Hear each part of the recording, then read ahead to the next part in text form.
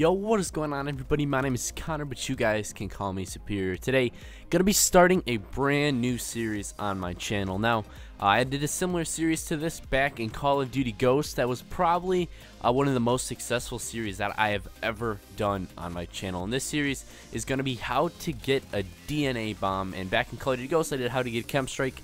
So uh, since it's you know new Call of Duty, new hidden kill streak um, how to get a DNA bomb is going to be this series. So, episode one is this episode, and this is probably the most important episode uh, where I'm going to have some of the best tips and some of the most useful tips that are going to help you out um, the most to help you get uh, the DNA bomb, the, you know, the big goal, the hidden kill streak, the thing that everyone is trying to get right now.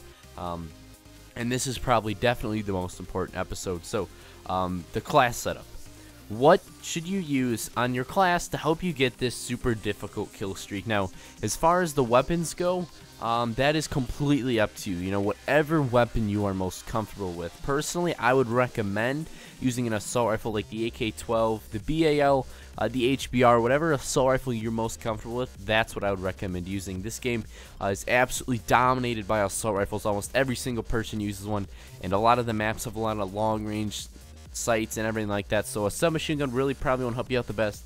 Uh, but if there is a submachine gun like the ASM-1 or the KF-5 uh, that you're extremely comfortable with, I would recommend using that. You know, whatever gun fits your playstyle the best, go ahead and use that for the DNA bomb.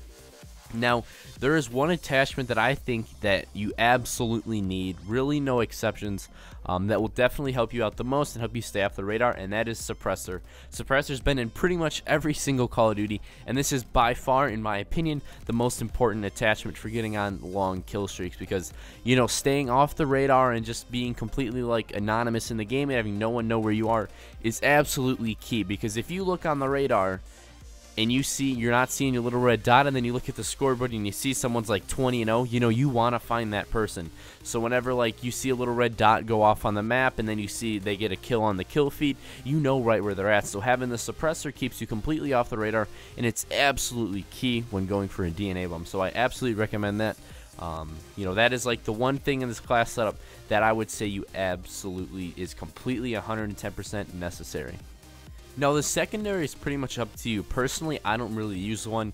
Um, you know, I don't really find it necessary, and I don't find it using as much uh, as I would use like another attachment or another perk or maybe even another kill streak. So uh, I probably wouldn't use a secondary, but once again, that is up to you. Now, perk 1. The perk 1 slot is another thing that I would see you absolutely need, and that is low profile. Low profile completely keeps you off the radar to any UAVs or anything. So uh, that is extremely, extremely important, especially with this game, you can have a support UAV, so even if you get like 150 deaths, which you get 10 kills, you know, you still get that UAV, which is absolutely ridiculously almost overpowered that you can get UAVs like that. So uh, low profile is absolutely needed because it keeps you off the radar when so many people have UAVs. You know, in this game, there's almost a constant UAV so, um, you know, you definitely, definitely, definitely want to run low profile. Me personally, I would run perk 1 greed and throw on Flak Jacket just so I don't die to any grenades or anything like that while I'm on a kill streak.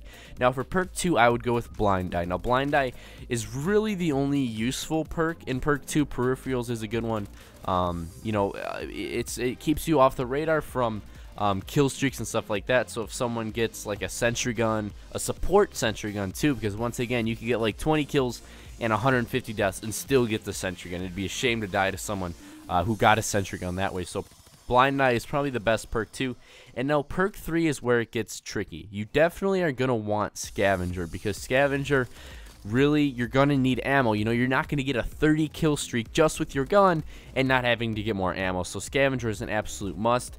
And then the other one, if you normally I run perk 3 greed, I would absolutely say that's pretty much necessary.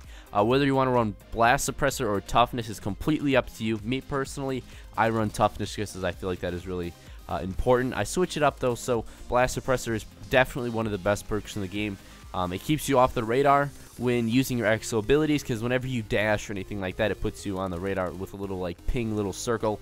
Um, so using that keeps you off the radar when using your exo abilities, and it makes it quieter, so you're harder and more difficult to sound horn stuff like that. So Uh, the Exo ability in the Exo launcher or the grenades, I don't think those are really necessary. You can use an Exo ability if you would like, uh, like Exo Stim that gives you more health when you're in a sticky situation, or Exo Overclock which can get you out of a sticky situation. You know, you can use those, but uh, it's not really necessary. You know, you definitely can go on a big kill streak uh, without it if you want an extra perk or something. So uh, the grenades aren't really necessary. You know, you don't really need a grenade. You know, I, the grenades in this game, I'm not gonna lie, they they kind of suck dick. So uh, you definitely don't need one. Um, going into one of the most important things in this class setup is the score streaks. Now, uh, if you're going for a DNA bomb, you can't really call in like a warbird, have that get like 15 kills for you, and then get 15 kills with your gun.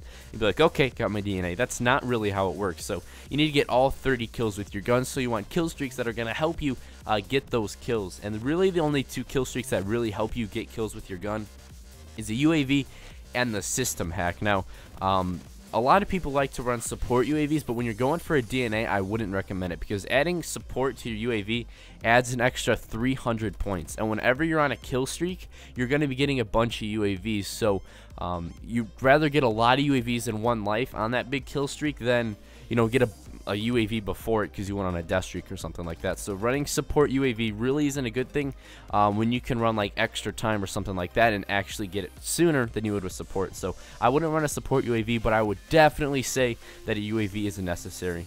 Now for the next score streak, and really the only other one I would recommend is the system hack. Uh, the system hack makes you a lot harder to kill because they have a big giant skull in front of their screen. You know, their HUD's gone, everything like that. It really confuses the enemy.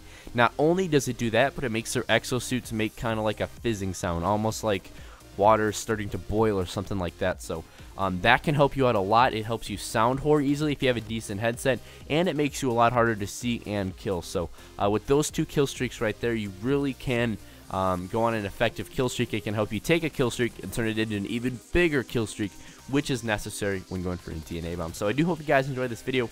Um, leave a like for more videos in this series, how to get a DNA bomb. This is one of my favorite series to make. Um, so I hope you guys enjoy it with me. So subscribe for more Advanced Warfare content. Go ahead and drop a comment down below on your favorite DNA bomb class setup. I'll see you guys in another video. Peace out.